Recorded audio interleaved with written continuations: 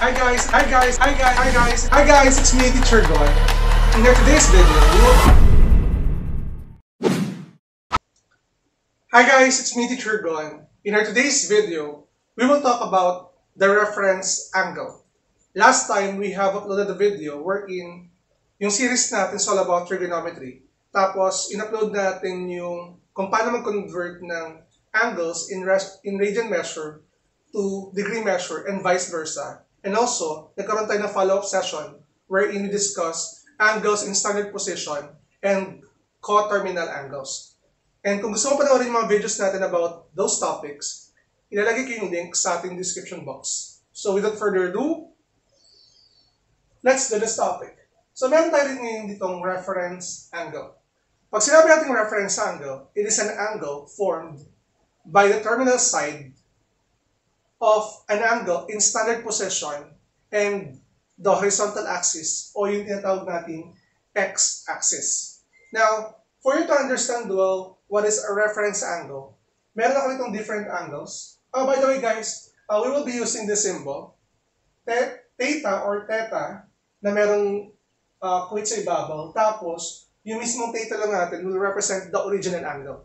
And again, this symbol will represent your reference angle during this session.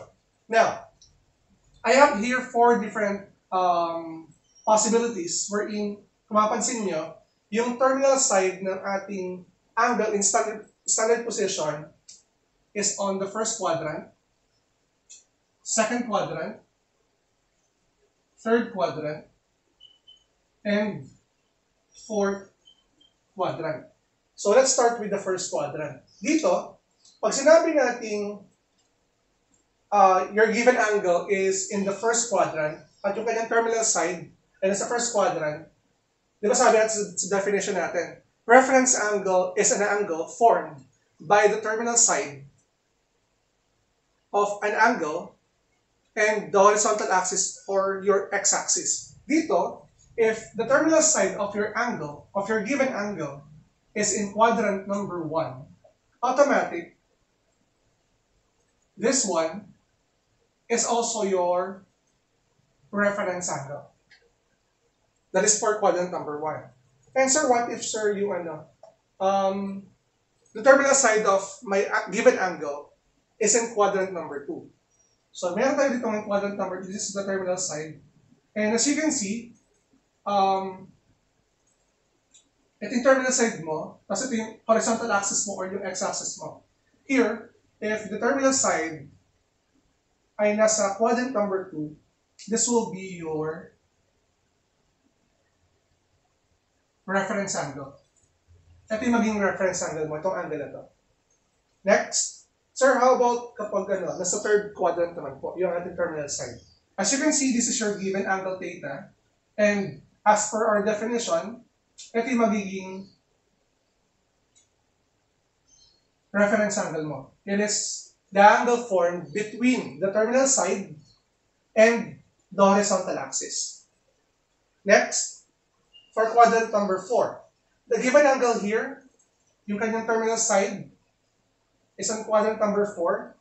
Ngayon, what is our reference angle? Since ito yung yung terminal side, ang mangyayari lang guys, this is the angle between the terminal side and the x-axis. Therefore, this is your reference angle. Now, sir, uh, medyo nalito pa rin po kami, pero nakagets na po namin yung, ano, yung concept about reference angle. Pero paano po natin makukuha or makakalculate yung value ng reference angle given the terminal side kapag nasa quadrant number 1, quadrant number 2, 3, or 4. Meron tayo itong gagawing summary.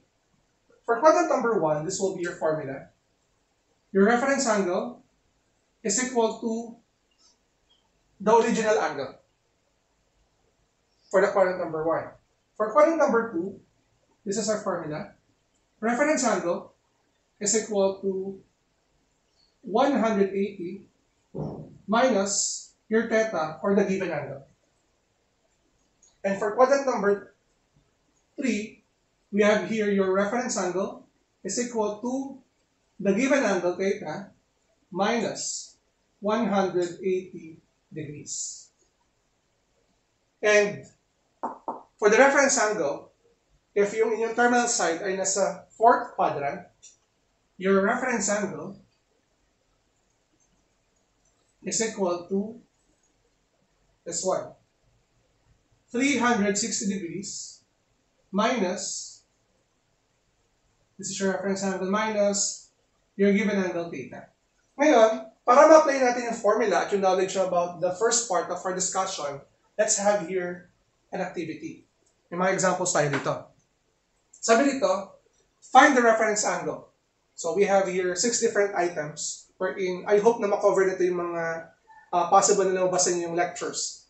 We have here in item number one. As you can see, we are given your angle here is 60. This is your theta. And we are asked to find the reference angle. As per our formula, sabi nito, if the terminal side of your reference and of your angle ay nasa first quadrant, di ba sabi, reference angle is equal to the given angle. Ibig sabihin guys, your reference angle here, no need compute na, is equal to 60 degrees. Ito na yung magiging sagot natin for item number 1. Okay? I hope na naging clear yung number 1 natin. Now let's move on with item number 2. For item number 2, we are given positive or 130 degrees as your angle. Now, yung terminal side niya, as you can see, ay nasa second quadrant. So we will be using the formula. Reference angle is equal to 180 degrees minus theta. So again, this is our formula. Reference angle is equal to 180 degrees minus your theta. And your theta here is equal to 130 degrees. So substituting the value of your theta, will become reference angle is equal to 180 degrees minus 130 degrees Ibig sabihin nito guys, your reference angle is equal to 50 degrees. So, nasan po yun? For your reference angle, ito siya. This angle. And this is 50 degrees. Now, let's move on with item number 3. For number 3, medyo lagpas tayo ng isang revolution. We're given an angle which measures um, 640 degrees. This is your theta. So, so definition natin, we have negative, ah, sorry, theta is equal to 360 minus um, theta. Pero, kung mapansin nyo, di ba, lagpas nyo siya sa isang revolution. Ang gagawin ko dito, di ba, ang two revolutions ay 720. Tama?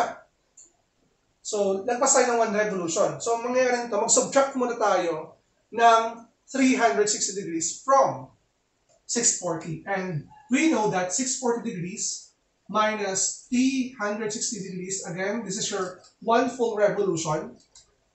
This will give you the answer of 280 degrees. Okay? So ito ngayon yung gagamitin natin to represent your theta.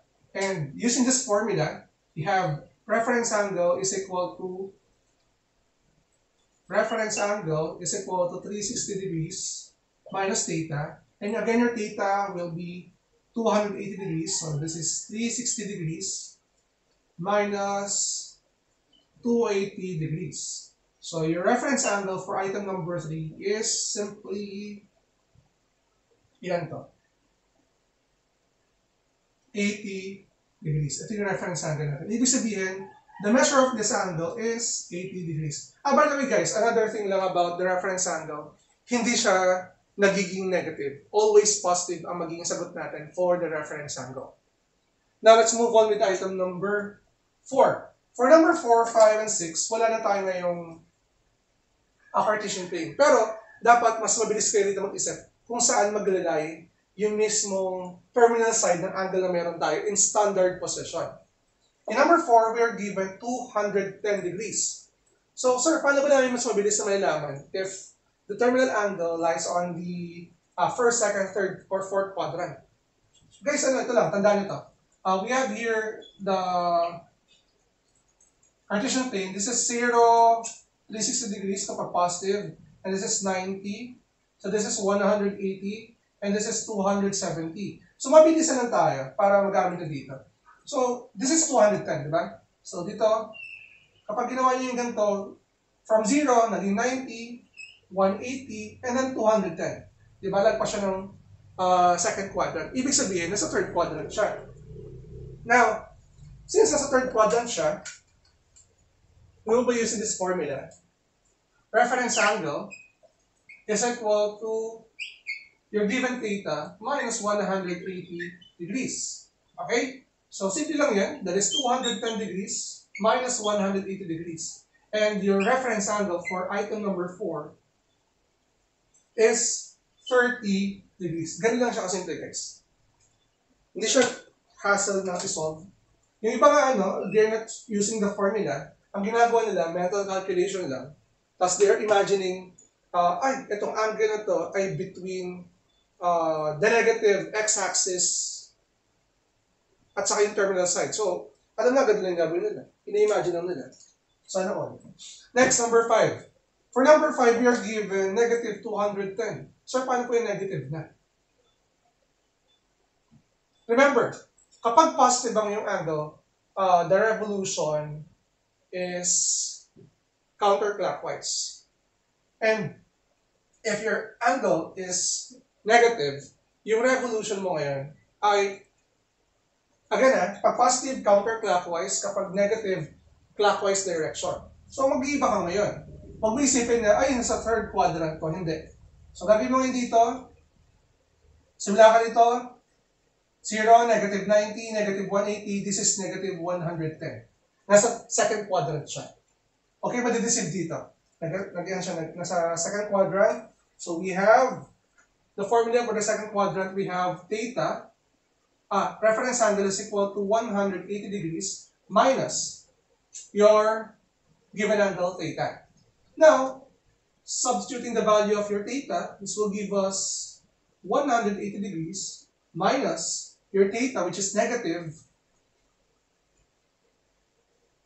210. So this is 210. So we will have theta is equal to negative 30 degrees. Pero, ah di ba sabi ko sa inyo lagi siyang positive. So ang sagot natin dito ay 30 degrees na lang. Okay? So ngayon guys,